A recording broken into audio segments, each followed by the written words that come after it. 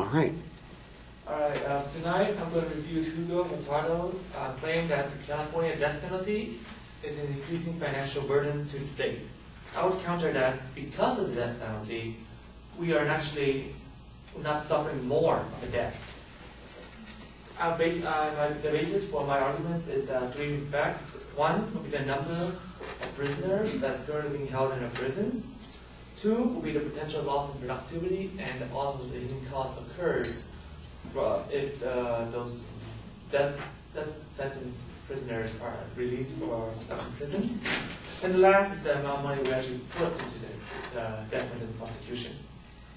For the first basis, it was said that the California prison system has about 700 people in death row, and maybe raised 1,000 by 2030. And roughly it takes about 90,000 to hold one death row inmate per year, compared to 47,000 for regular inmates. However, the California Department of Correction and Rehabilitation stated that we currently have over 160,000 prisoners in our prison system right now. Now, if you take that, multiply it by the 47,000, the cost is actually much more than what it takes to put a death row uh, inmates and keep them in prison until they die. And second is that death row only remain there for a certain amount of time. After that, they would die and the be gone, while most of the inmates may stay there for a very long time. That alone would incur far greater costs in the future.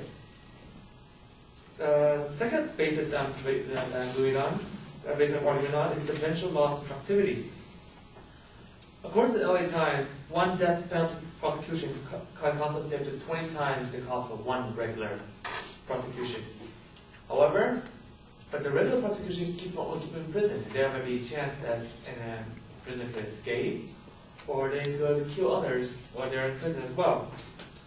For every time uh, a person dies, they are there is considered a net loss in productivity, and there will be hidden fees like funerals and other hospitals or whatever fees that occurred to the victim.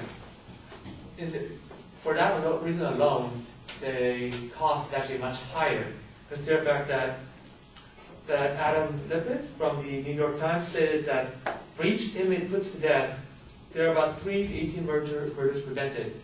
That's, take whatever number you get for that was lost, multiply by that number, that will give you a much greater cost than what it would take just to keep one person in prison and on death row. And the last basis that I'm basing my argument on is the fact that we are spending way too much money on the death penalty, or that's the assumed case. The fact of the matter is, according to uh, Wendy Fry of the KPBS, during here um, during her when she covered the cost of life in prison, it said that we actually spent uh, 10% of our general fund and more than $10 billion for our prison. And while each, the 13 execution would cost us 308 million, the, the difference is very, very high. So if we are actually saying that uh, the death penalty is, is causing more of a financial burden to the state, it's more like the prison system is causing more of a burden to the state and we should fix the prison, system more than the death penalty. And because of all that, I believe that I concluded that the death penalty actually prevented the state from occur, um, occurring or acquiring a much higher cost. Thank you.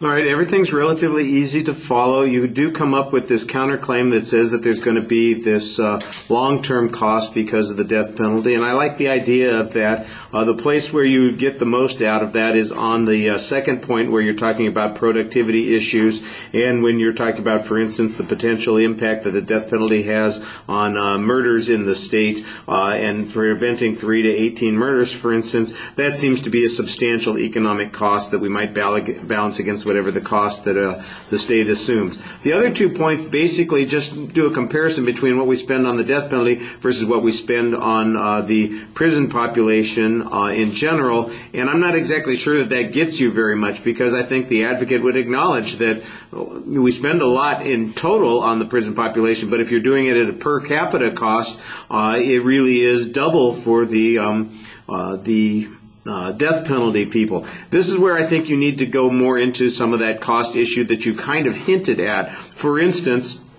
those hidden costs that might occur uh, if those prisoners were not in death row and they were in the general population, what costs might be assumed? For instance, additional protection or guards, like you mentioned, f- funeral costs. Uh, one of the things that occurred to me while you, was ta- while you were talking about it, if the state knows that a person is particularly dangerous, but puts them in the general population, and they kill somebody else in the general population, are there liability costs here? Could somebody be sued in this situation? That seems to me like a potential cost, and there's maybe an argument to be made there. That's just something that occurred to me while you were talking about this. So I think the second point has the best part of the argument, and the first two points simply do a comparison um, of what the spending is. I think you need to talk a little bit more about the advocates' arguments here and whether or not the total spending is really having a drain on the state. Um, you know how significant it is. You might point out what the state's total budget is. You did have uh, the argument that the whole prison population is 10% of the budget, and the death penalty penalty part is really only $300 million,